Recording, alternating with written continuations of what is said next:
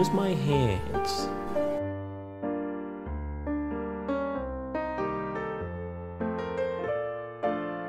Why? Hey, where you guys going over there? Is it somewhere else?